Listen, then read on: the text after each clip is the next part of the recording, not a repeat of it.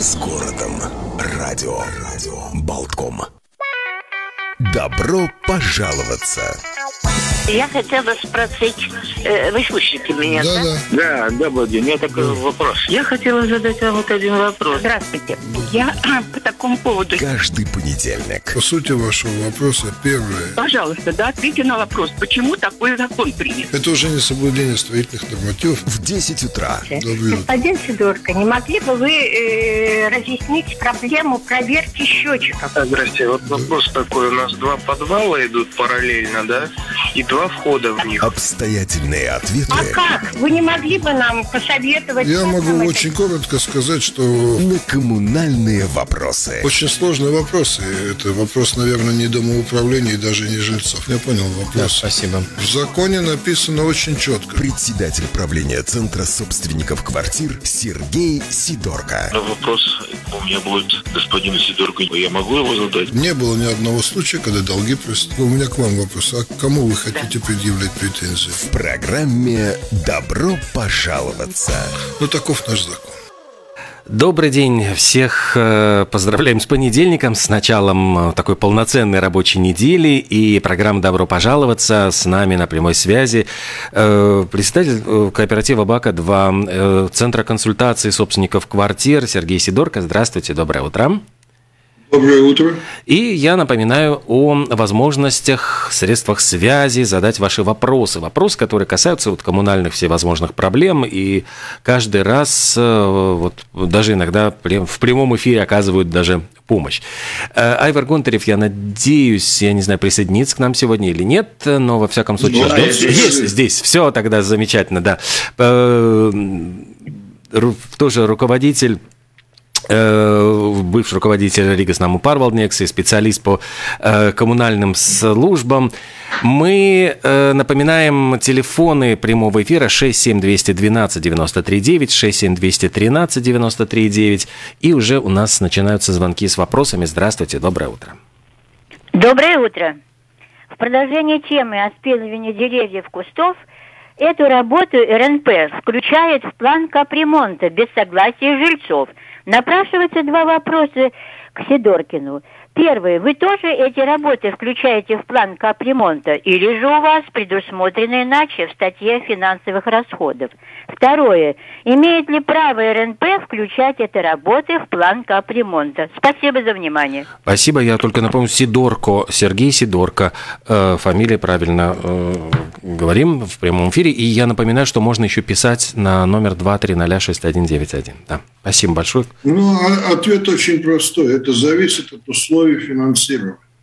Как правило, эти работы оплачиваются из, поскольку они не являются регулярными, то есть которые можно предусмотреть заранее, то они оплачиваются из фонда накопления. Поэтому включение в план управления или в план капитального ремонта вполне обосновано. Это первое. Второе, ваше согласие или несогласие. Управляющий, если видит необходимость чего-либо, обязан включить в план. Он это обязан. А вы вправе отказаться, но при этом, если вы отказываетесь, то вы берете всю ответственность на себя. То есть, если вы подпишетесь не пилить дерево, а после этого оно упадет на машины чьи-то, то те, кто э, примут такое решение, будут и отвечать финансово за последствия своего решения. Вот и все.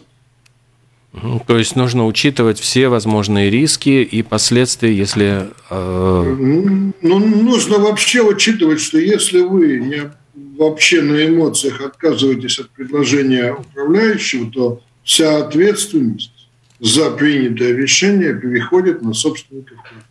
И они отвечают дальше за последствия любые. Отказ от ремонта труб, крыши, не знаю, заделать яму на дороге. Все это потом последствия могут, могут обернуться против собственников А часто ли все-таки выступает именно домоуправление с такой инициативой? Или, ну вот, э, если случаи, когда, например, ну, домоуправление э, просто, ну, как бы бе- без иници- не проявляет никакой инициативы, все зависит только от собственников. Если они не позаботились, то могут быть проблемы. Ну, не знаю, может быть и такое бывает, но, как правило, цепочка работает так. С одной стороны, домоуправление совершает или должно совершать ежегодные осмотры территории и так далее, и зеленых насаждений. Это предусмотрено правилами Кабинета министров. С одной стороны. С другой стороны, чаще всего недовольство зелеными насаждениями высказывают сами собственники. Есть люди, которым они мешают или которые считают, что эти насаждения опасны. В этом случае поступает информация к управляющему, он обязан провести соответствующую процедуру по оценке насколько это подозрение обосновано. Если обосновано, то включить в план и устранить опасность. Угу. Такая ситуация.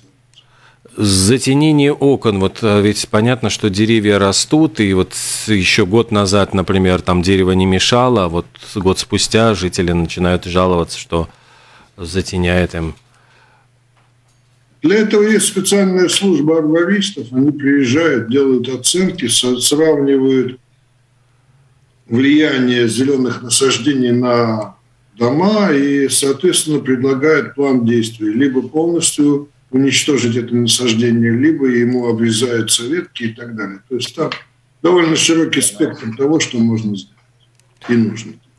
А если говорить вот про зеленые насаждения, увеличение или уменьшение площади зеленых насаждений, от кого зависит? Ну, мало ли вот могут возникнуть ситуации, что требуются дополнительные стояночные места и хотели бы уменьшить зеленые насаждения, или наоборот, хотели бы увеличить площадь зеленых насаждений, чтобы... Ну... В любом случае нужно делать план благоустройства и утверждать. Это такой же проект, как и проект на утепление дома и так далее. То есть на прилегающей территории разрабатывается э, специальными архитекторами разрабатывается план благоустройства, куда включается мероприятие угу. по, озеленению и дальше все. А... Соответственно, Затем, как этот план, э, кто его утверждает и как, какие инстанции через проходят? Бувалды, через Бувалды. Угу.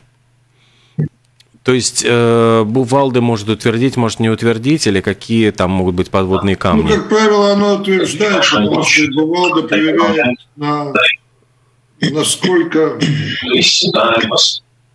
обоснованно принимаются uh там все эти решения, и после юридическую сторону, и техническую сторону смотрит. Но ну, обычно, если делает нормальный архитектор, проблем не возникает.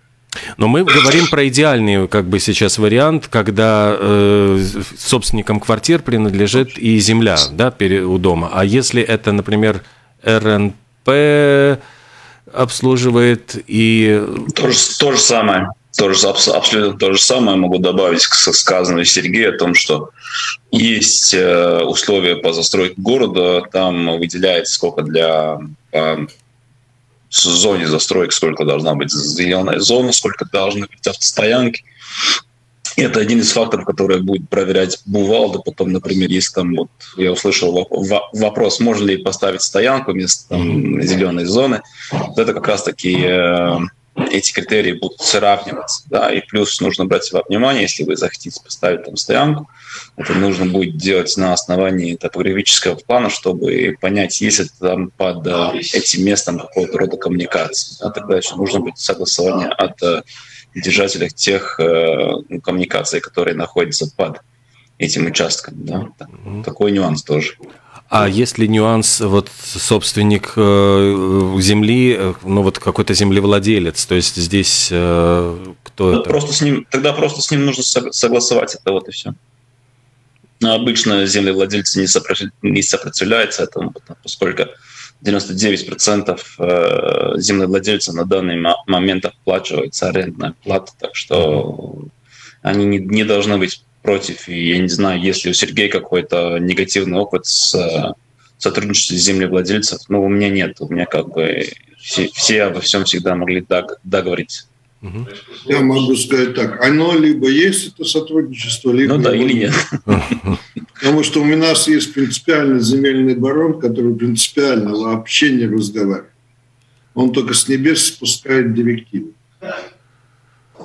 Ну, то есть в этом случае коммуникация... Ну, если коммуникации нету, Дело в том, что в любом случае такого рода проекты должны быть утверждены с особо или согласованы с собственником земли. Либо это коллективно собственники приватизированного этого земельного участка, либо это ну, третье лицо собственника земли. Если с ним контакта нет, то, конечно, ну, просто я к тому, что э, здесь что нужно, чтобы не поставить телегу впереди лошади, то есть получается, что э, лучше связаться с собственником земли до того, как э, расходовать деньги на план благоустройства, то есть чтобы это не получилось. Естественно. Естественно, сначала нужно выяснить, будет ли он согласен, и тогда потому что и внести план благоустройства может только собственник земли. Он может дать полномочия вашему проектировщику представлять, но здесь все эти действия должен делать собственник земли от имени собственника земли. Угу. 67212-93-9, 67213-93-9. Принимаем ваши звонки. Здравствуйте. Доброе утро. Доброе утро. Э, господин Сидорко, а вот скажите, пожалуйста, в каком виде вот это согласие должно быть? Там у нотариуса заверено или просто мы как-то мы пишем заявление, и он там свою подпись ставит? Потому что есть, к сожалению, такой один упорный, который даже знак, что там вот хотим свой двор защитить, не, не разрешает поставить. Вот как это э, согласие должно, как оно должно быть оформлено? Спасибо. Наверное, подпись. Наверное, подпись, физическая подпись или электронная, или надежная электронная. Другого варианта я не знаю. Нотариус вряд ли в этой ситуации нужен, нужно иметь его подпись. Угу. Согла- согласование. А если действительно, ну вот тут касается вопроса жильцы, если на хозяйской земле, мы, по-моему, уже проговаривали эту тему, но, наверное, чтобы уже так э, полностью осветить вопрос, жильцы, если станет дом на хозяйской земле, хотят ограничить доступ э, чужих машин э, в, во двор, ну или как на, на участок перед домом, что им нужно для этого сделать, чтобы поставить какой-то запретительный знак, там шлагбаум, не знаю – нужно согласие собственника земли, неважно, это будут сами собственники квартиры или это будет третье лицо, и нужно разработать проект там, лицензированного инженера. Там есть специальные специалисты, которые имеют право на разработку проектов по установке знаков. После этого эти знаки согласовываются в инспекции дорожного движения, точнее в Министерстве сообщения, и после этого эти знаки устанавливаются. Процедура достаточно простая. Должно быть решение собственника земли, поскольку единственно он отличает, отвечает за организацию движения в своем земельном участке.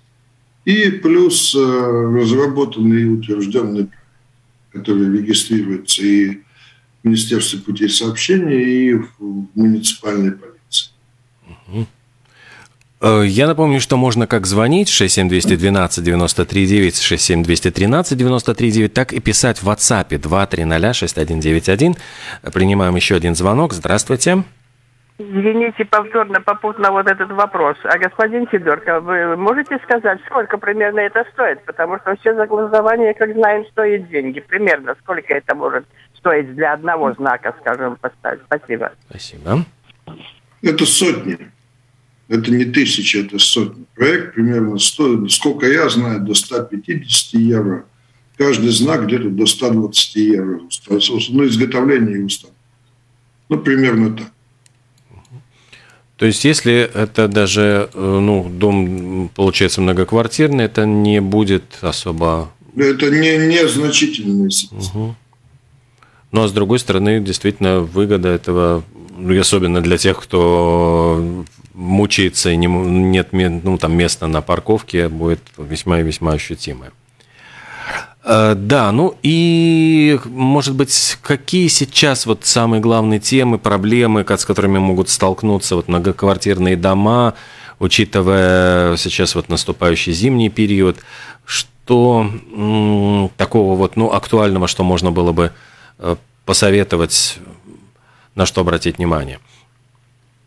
платить своевременно. Все, что я могу посоветовать. Потому что ожидается, что счета будут достаточно высокими, и поэтому попасть э, в эту долговую кабалу будет относительно легко.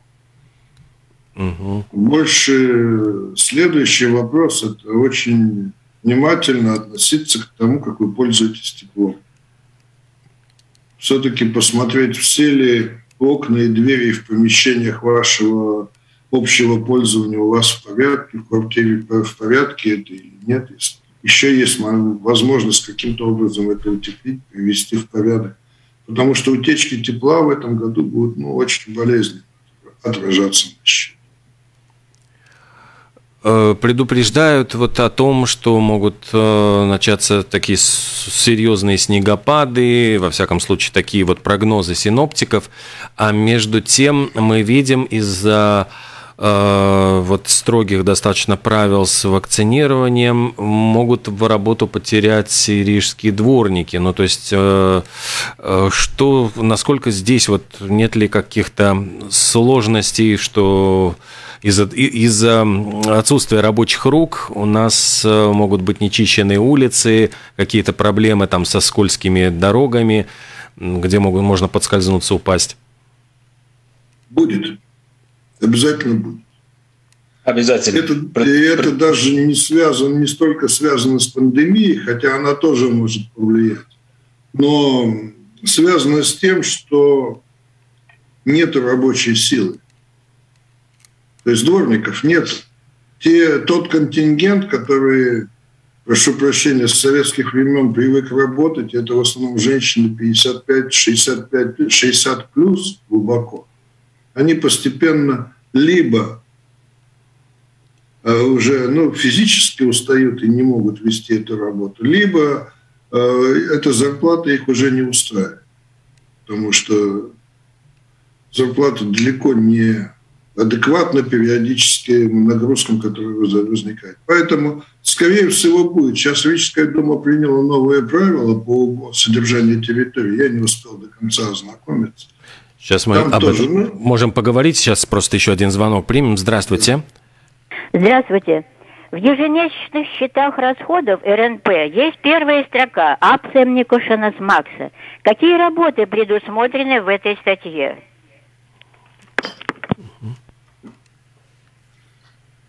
Ну, там, наверное, я могу ответить. У вас есть э, домашняя страничка rmp parvaldnext.lv, вы там можете зайти посмотреть. РНП каждый год выставляет э, свои сметы на следующий год.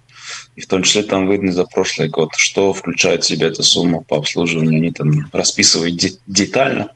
Если какая-то строчка у вас интересна, вы тогда делаете запросы и спрашиваете РНП, с чего именно эта строчка состоит. Угу. И еще один ну, звонок. Ну, а, да. Сейчас, а, ну, сорвался звонок, да, пожалуйста. Значит, еще я могу сказать общими словами, открывайте закон об управлении жилыми домами, там четко сказано, какие обязательные действия по управлению жилым домом должны производить управляющие компании. И за, вот за это вы и платите за физическое обслуживание, за техническое обслуживание, за финансовое обслуживание, за юридическое обслуживание, если крупными блоками. За ну все, да. кроме исключительно за, кроме э, ремонта, капитального ремонта. Это все включается в слово абсолютно. Ну, в случае с, с РМП это постановление Кабинета министров 408, где прописывается каждая строчка, что они должны, должны включить в смету. А продолжая, продолжая про чистку в этом а, году. Да, сейчас просто интересно. у нас звонок, просто сейчас а, мы хорошо. вернемся к чистке. Здравствуйте, пожалуйста. Доброе утро. Да, доброе. У меня такой вопрос. Нас обслуживает компания Рига с нами Пардовник. Да, это Юрмаловгата 109. Вторые сутки у нас нету тепла. Вот. И звонишь туда, у них там типа вот аварийная эта служба – они говорят, бригада скоро будет, бригада скоро будет, бригада скоро будет. Всему дому? Всему дому нет тепла или, как, или каким-то да, какой-то да, да, лес, да, лестничной клеткой? Всего бригада дома. едет вторые сутки, это вот девочка, которая отнекивается, там все, что вот скоро будет, потерпите. Вот какие вообще наши действия? То есть суд подавать, что надо делать с ними? На в суд не нужно подавать, нет смысла, это долго. А, ну, это издеваются Ваш... просто над людьми. Они какой-то а... эксперимент делают минусовую да. погоду. Я не понимаю. Наз... Назовите ваш телефон или оставьте э, и поймем, а, как разобраться с этим вопросом. Записывай. Ну, А, 2484 2286. 2486. 20, 24 84 2286. Угу. 86. Выясним. Поймем, как решить вашу проблему. Огромное. Спасибо большое, да. Э, Вот тогда возвращаясь действительно к разговору о дворниках и о э, уборке снега в этом году, насколько, ну вот учитывая, что предупреждают синоптики, что будут обильные снегопады. Не плюс, плюс к тому, что сказал Сергей, мне очень интересно, как будет э, прочищен центр города, плюс все те места, где установили наши э, популярные столбики и ограждения для вело, да, то есть таким образом сами себя отягощая технической уборку. Да, потому что раньше их там не было, и тех, технически можно было легко Если это если- м, прочистить снег да, в, центре, в центре города и в тех местах, где сейчас стоят все эти столбики и бордюры. Так что вот еще одну проблему сами себе создали. Будет, будет, будет интересно наблюдать, как это будет реш- решено. Да, потому что э, говорят, что будет использоваться вместо дворников э, техника, которая сможет помочь там э, сэкономить время и человеческие ресурсы, но техника же она не сможет через эти столбики как-то А, пробраться. Через это проходят сейчас э, все э, литовские компании. Они снимают, с, э, скажем так, э, с домов тех дворников, которые там были, уже не первый год это происходит, и вы можете, мы можем спросить у радиослушателей тоже, насколько они этим довольны, но насколько мы с Сергеем знаем, что недовольство клиентов, жителей домов э, после того, как э, сняты конкретные дворники и уборщики э, с их домов и происходит переход на так называемые бригады, ну, люди становятся недовольны и недовольны. А, Дело в том, что такие бригады можно развивать, если у тебя есть большой объем есть берешь, ну, скажем так, несколько квадратных километров и начинаешь их обслуживать с точки зрения уборки. Тогда ты можешь задействовать и эффективно и технику, и взять нормальных рабочих. А когда начинается создание бригады, я вот наблюдаю не за литовским, я наблюдаю за РНП бригады. Три парня с бочкой, для воды, в которую там, наверное, они моют домов 15 этой бочки. И вот один держит метлу, второй совок, третий граб. И вот они перемещаются. Ну, какое там качество, какая механизация. Ну, бригада, вместо того, чтобы был один человек, который присматривал за домом. Но проблема будет совершенно точно, потому что в Латвии, если говорить в Риге, то техники наверняка не хватит. Ведь опыт предыдущих лет говорит о том, что та небольшая часть уборочной техники, которая есть, она уже расписана за постоянными клиентами. За, скажем, супермаркетами, за дорогами разного уровня. И поэтому, когда падает снег, то привлечь технику становится практически невозможно. Это можно их привлекать через 2-3-4 дня. За это время образуется приличная корка, которая создает сложности при дальнейшем. Проблема должна быть. Как решим, не знаю. Сложно. Ну, у нас, Сергей, была давно идея о том, что эта функция по наружной уборке, это должна быть функция города, так как э, с каждым годом больше и больше вся, вся квартальная застройка, весь центр Риги, он э, рассредоточен, и он э, принадлежит э, множеству владельцам и, и управляет этим множество компаний. И чтобы не было такой шахматной доски, что здесь убрано, здесь не убрано, да, тогда с точки зрения уборки, тогда действительно есть смысл, что это один убирает. Это убирает, например, город, и город убирает от точки А до точки Б, да, до конца весь тротуар. Угу, а сейчас. не так, что вот здесь убрано, здесь не убрано. Ну, у у нас еще один звонок. Здравствуйте. Добрый день. Добрый. Я коротко. В общем, такая проблемка. Человека лишили вида на жительство из литовского гражданства, пока не оформляет, ну, то есть персонального кода. Ну, а человек был задекларирован у меня на квартире. То есть сейчас счет приходит уже второй год, шесть человек. Я вчера залез в очередной раз на, на сайт, и там пять человек как бы задекларировано. Звоню в Наму Парвалдникс, те валят на иммиграционную службу, что они должны давать информацию. Иммиграционная служба говорит, что это должен нам Парвалдник сам проверять. Как там вообще по закону? Кто там должен отвечать за это? Вы А сами. шесть человек, а, Вы факту сами, самый простой путь, тут можно, можно бодаться кто, кто, когда и за что, но на самом деле нет ничего проще. Вы как собственник квартиры можете бесплатно запросить справку о количестве задекларированных в вашей квартире э, в департамент иммиграции и эту справку в письменном виде подать в Ригоснаму пару. Они должны будут ее взять. Все. А, То есть это надо через справку только. Так и никак нельзя там, чтобы отдаленно. Нет, как-то так не, не получится, потому что Ригоснам Паровникс имеет право, на, если я не ошибаюсь, раз в году бесплатно запросить информацию о том, сколько задекларировано в квартирах. Все остальное изменение должно идти за счет собственника. Вы видите, что у вас Просто, самом ну да. Но просто они там дали такую информацию на консультационном телефоне, что им каждый месяц иммиграционная служба пред- предоставляет информацию, и по, они, по этой информации они э, делают счет. Так вы проверьте, сколько задекларировано по факту. Пять. Пять по факту. Так вы можете выставляют- А как вы знаете? Алло. Да-да, как вы, как вы понимаете, что 5? Вы же, ну, то есть вы, вы Ну, должны... Я залез в Латвия ЛВ, и есть такой сайт, где показано, сколько на, на этот факт задекларировано у меня на адрес людей.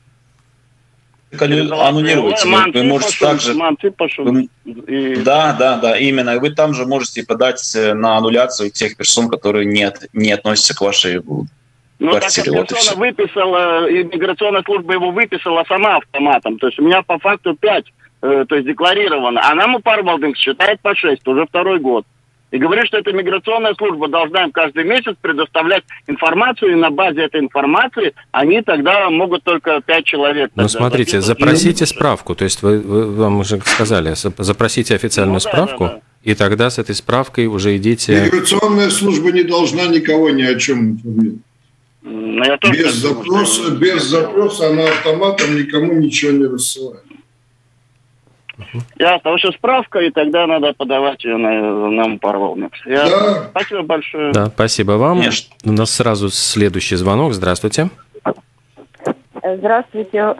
У меня тоже звонок касается людей, которые должны быть зарегистрированы по месту жительства. Руководство нашего кооператива знает, что люди э, снимают жилье без договора об аренде, без регистрации по месту жительства. Мы об этом им говорим в течение многих лет. И все равно, э, значит, вывоз мусора раскидывается только на собственников жилья. А арендаторы, они как раз большими семьями у нас живут. В подъезде их довольно много. Ничего сделать не можем. Куда обращаться? Правило.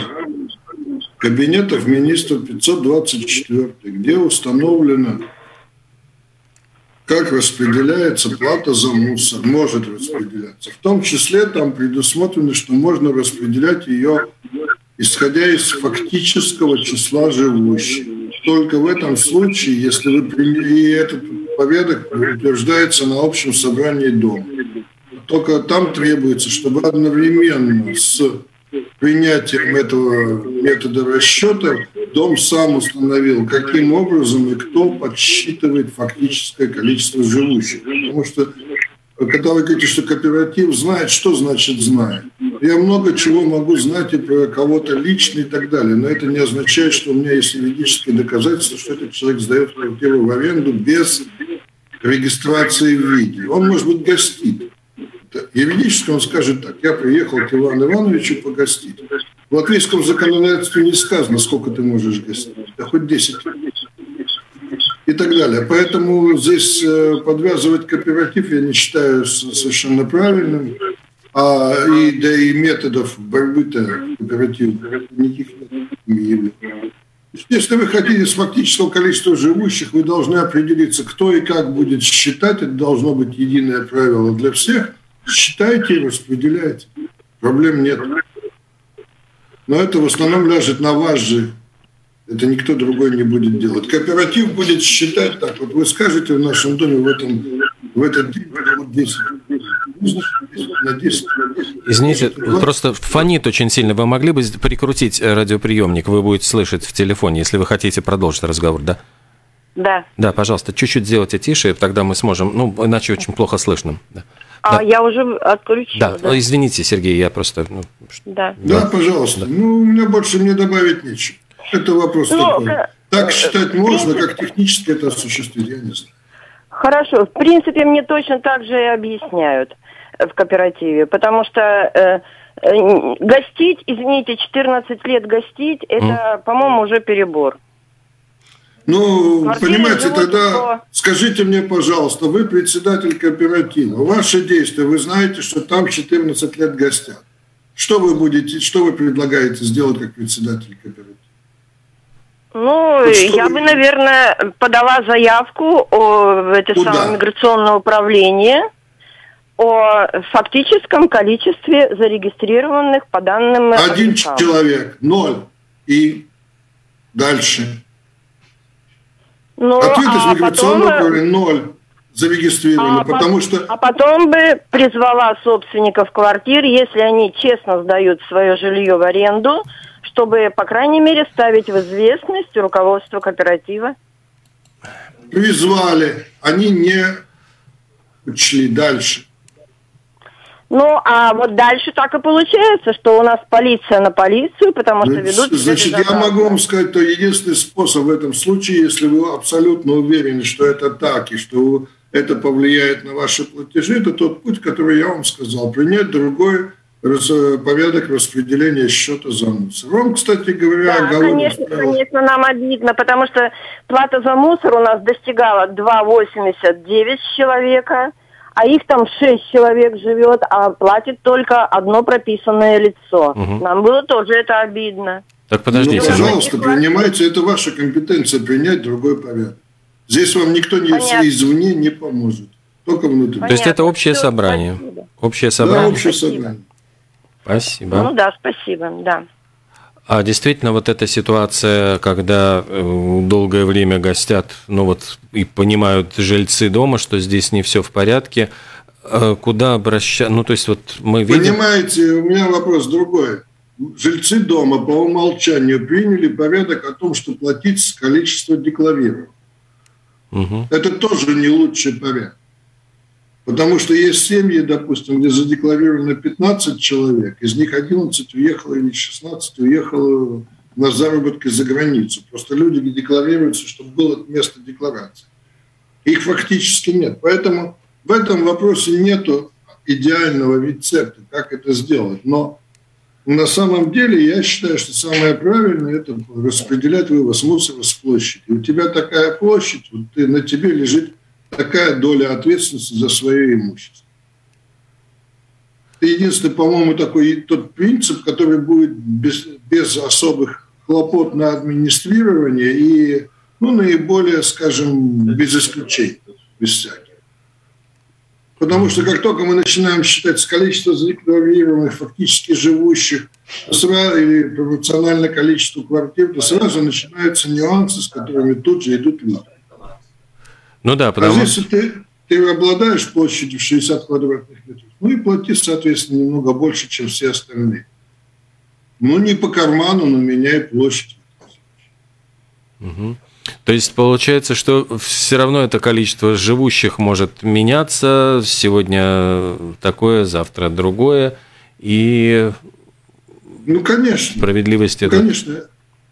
И, и второе, что я могу сказать вам, на самом деле, по самой сути, согласно всего, все, все регулирующие базы, обязанность собственника квартиры обеспечить вывоз мусора. Это не обязанность какого-то там живущего третьего или пятого лица, который там зарегистрирован, это обязанность собственника квартиры. Значит, ну и нужно исходить из того, что это твоя обязанность. Мы же не возмущаемся, что за ремонт мы платим пропорционально площади, а не, скажем, там, по декла- задекларированным. Поэтому здесь просто нужно смириться с тем, что если у тебя большое имущество, значит, за него будет больше расход. Вот и всё. А сама по себе такая немножко спорная действительно ситуация, когда жильцы э, видят, что в квартиру, где вроде бы там один собственник, заселяются ну, какие-то незнакомые люди и подозревают, что человек сдает ну, эту квартиру. Вот здесь вот эти все нюансы, должны ли они, э, они как-то... Хотите напакостить этому человеку, который сдает квартиру, запросите в виде. Вид очень хорошо интересуется.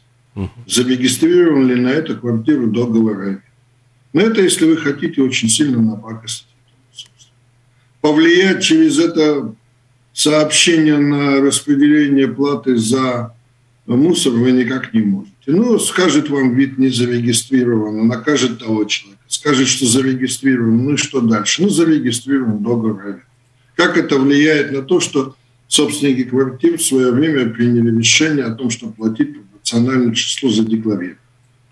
Ведь у нас, видимо, неправильное понимание у многих, э, что такое декларация. Это просто информация э, лица, официально проживающего на, территории Латвии, гражданина, не гражданина, с видом на жительство и так далее, о том почтовом адресе, по которому государство может с ним связаться в течение 7 дней. Все, точка. Никаких правовых последствий декларация сама по себе не несет. То есть я просто сообщаю, я привожу всегда пример. Если мне принадлежит участок леса, и это, этот лес имеет кадастровый номер, то я могу повесить на какой-нибудь сосне почтовый ящик и указать это в качестве места декларации. И все будет нормально. Угу. Государство будет знать, что нужно посылать по этому почтовому адресу. Вот и все. Никаких прав это не дает. И... Это не прав, не обязанностей других. Просто-напросто это очень важно – Э, для того, чтобы потом, если начинаются суды, юридические разбирательства, та же информация от вида должна поступить гражданину, тогда она обязательно должна быть выслана на по официальному месту регистрации. Тогда считается, что человек уведомлен о том, что там какое-то дело есть или еще что-то. Но это не дает права не менять квартплату, ничего. Угу. Ну что же, я смотрю, время у нас действительно завершается нашей программы. Спасибо огромное всем тем, кто звонил. К сожалению, сегодня никто не писал. Я напоминаю, что просто можно заранее тоже написать вопросы, все, что вас волнует, интересует, на номер WhatsApp 2306191. И э, если вы напишите, мы обязательно вот этот вопрос озвучим в эфире. Сергей Сидорко и Айвар Гонтарев отвечали сегодня на ваши вопросы. Программа «Добро пожаловаться». Спасибо большое. До встречи в следующий понедельник. До свидания. На одной волне с городом.